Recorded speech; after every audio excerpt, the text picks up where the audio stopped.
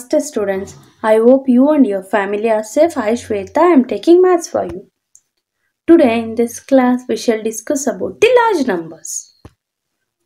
You all learned number up to 6 digits. In your previous class you already learned up to 6 digits but in this class we shall discuss about the 7 digit number.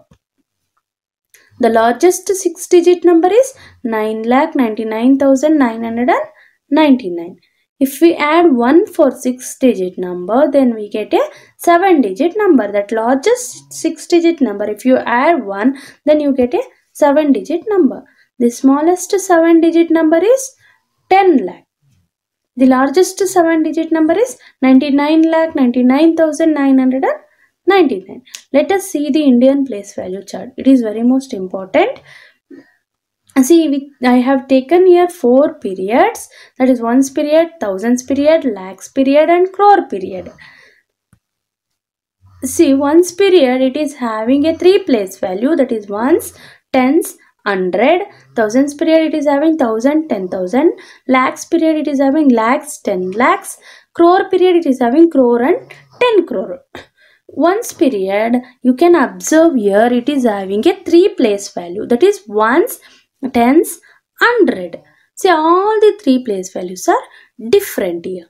So it is named as ones period because it is a first period the in this first period ones period one first place value is ones so it is named as ones period.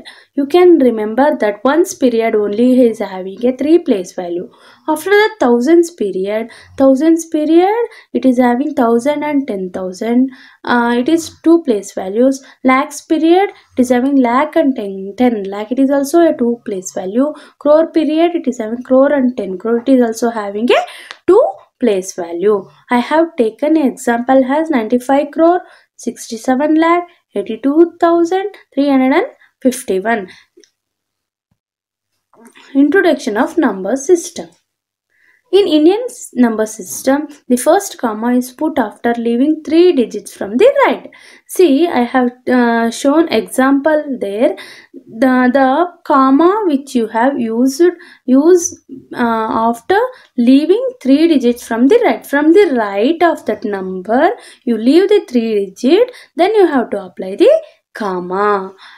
Then we place comma after every two digits as we move towards the left if we move towards the left then 2 to after leaving after every two digits you have to apply the comma why because uh, first ones period it is having a three place value.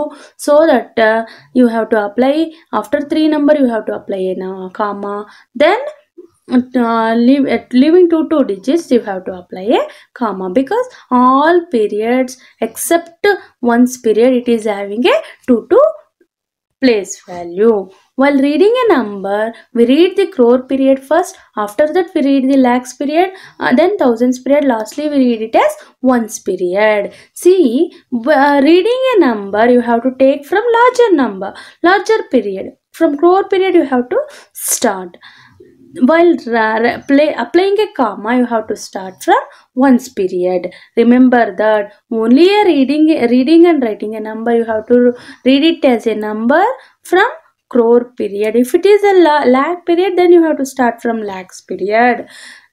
Uh, you have to apply a comma you have to start from ones period. Remember that comma helps us to reading and writing the large number. If you have three digit number then it is okay. You can easily read and write the number. But if it is a seven digit and eight digit number comma is very most important to read and write that number or to remember that number. For example see 99 crore 99 lakh 99999 if it is if it is not having a comma then it is very difficult to read that number. So uh, if we apply a comma then it is easy to read and write the number. While writing number name we will not use the comma. Remember that only writing a number you have to use the comma. Writing number name you will not use the comma. Homework i have given read carefully and write it in one book and send it in a whatsapp group. Thank you